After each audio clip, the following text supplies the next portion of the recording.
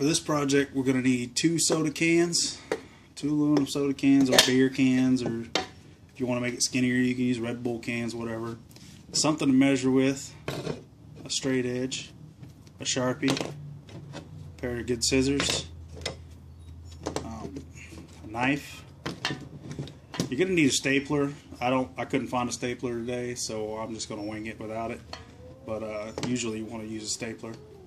And uh, to operate it, I'm going to use nail polish remover with acetone in it.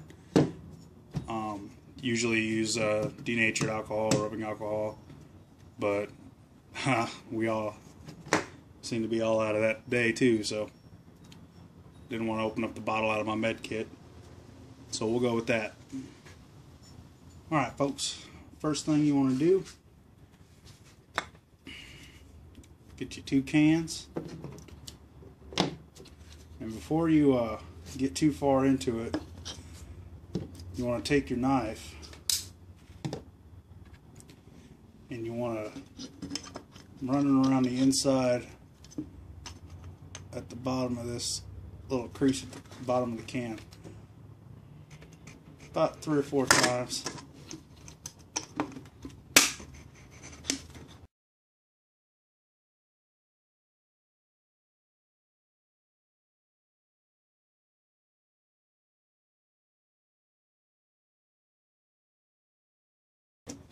Then you just kind of pop it out back in there. Like I said, be careful not to cut yourself on these edges. You can file them down if you want. I'm not going to do that in this video.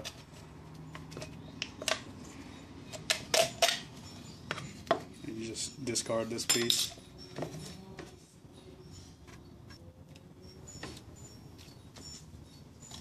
Now, once you have your bottom cut out,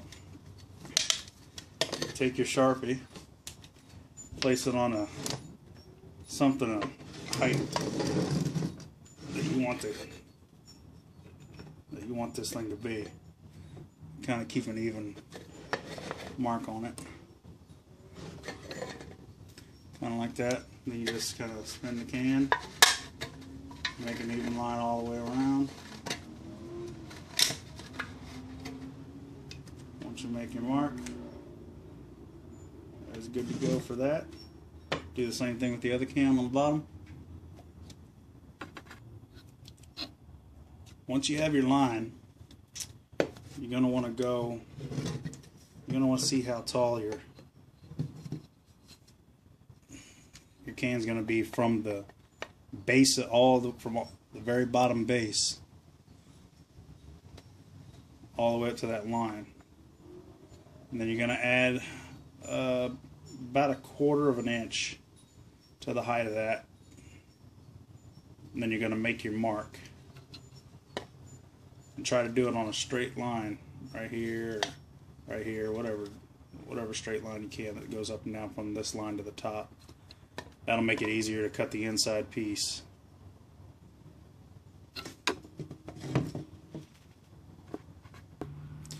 Now what I did here was I went a quarter of an inch above, made a mark, and then uh, I measured from the base to that mark and took that measurement and measured from this mark to the top of, to the higher portion of the can and made a mark here.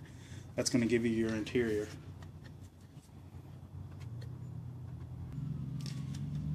Now you're going to want to cut this bottom portion of the can off in between these two lines, um, following this line preferably, but you can trim it up afterwards. I usually make a cut like I already did here with, with the box cutter, and then just cut the rest of it with scissors. Try not to bend it up too much.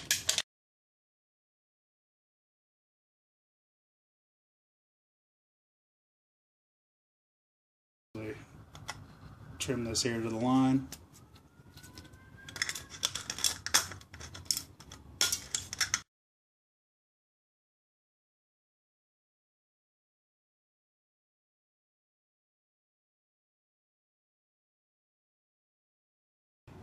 Once you got your two pieces cut here and trimmed, you want to take the bottom piece because since this is going to go over top, uh, over the outside of the top piece, you want to take the top half of one of your cans and be real careful with this. But uh, you don't cut yourself.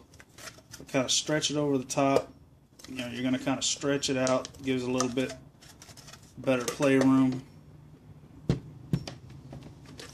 for your to get this over the top of that other can. Makes it a lot easier.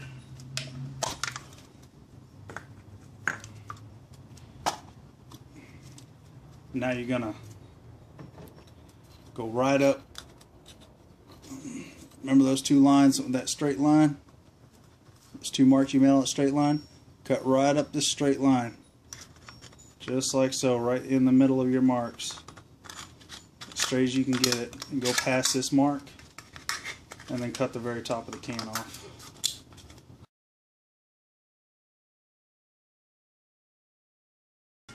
Now this mark I made just on this crease so I can cut and follow this crease once it's open.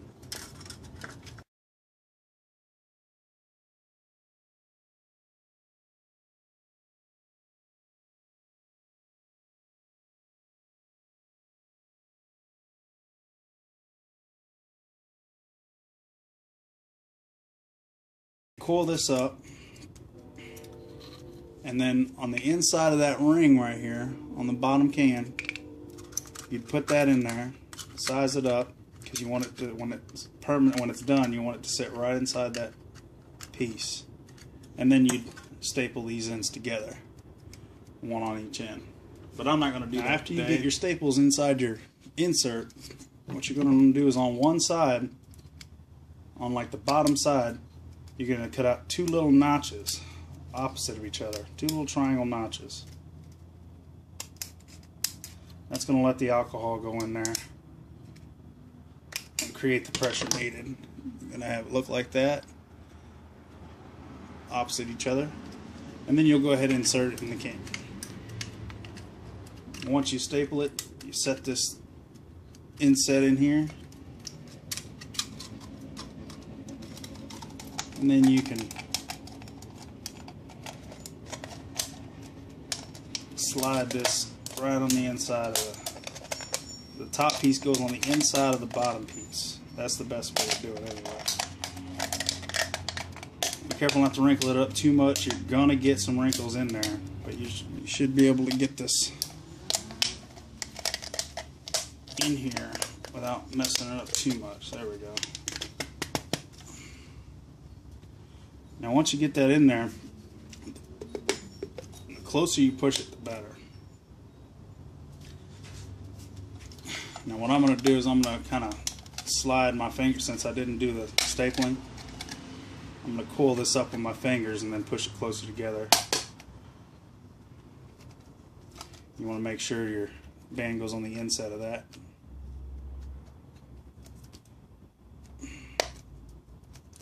Now if you have any rough edges where the cans overlap each other, you might want to fix that up real quick.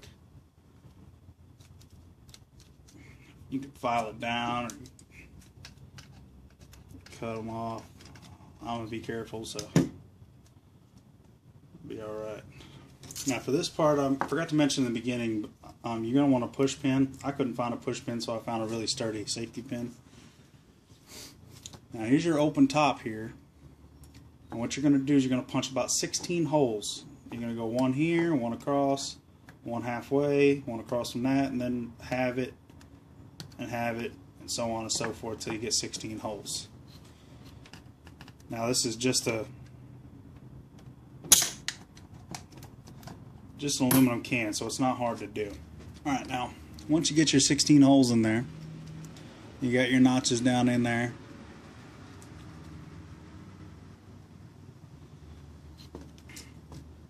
now you're ready to light this thing please go outside to test it the first time. Now, like I said, I'm using nail polish remover. It's not what you normally use for this, but it can be oh. done. You know, the longer you want to last, the more you put in, obviously. The last one I made boiled about two cups of water on a little pot in about two minutes. So,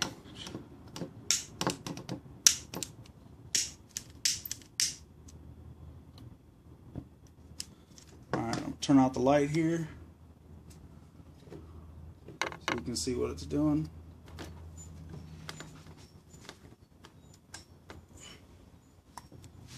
And normally you just blow it.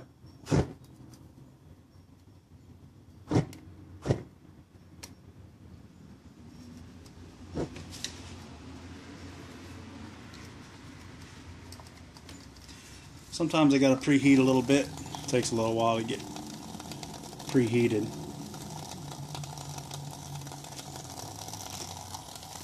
Once it heats up, the exterior of it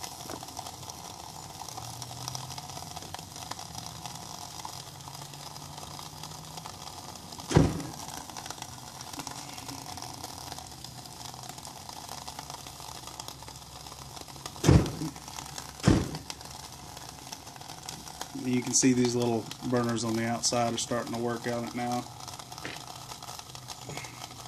What that'll look like with a pot underneath it, you can set a pot right on it. I don't have a pot with me, but you set a pot right on it and it'll keep on cooking it, or you can build yourself a little bit of a, a little bit of a stand to kind of stand above it. But that should do fine for a pot. If you want more videos like this, please make sure to subscribe and like this video.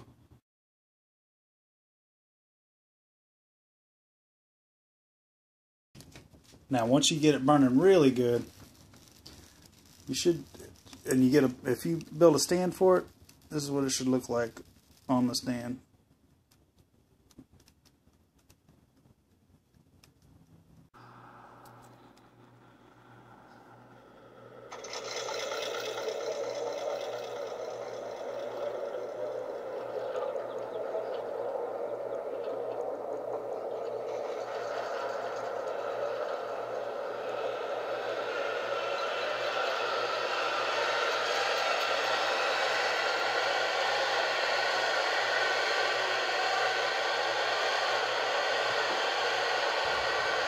Now once you have these both trimmed up, oh, oops,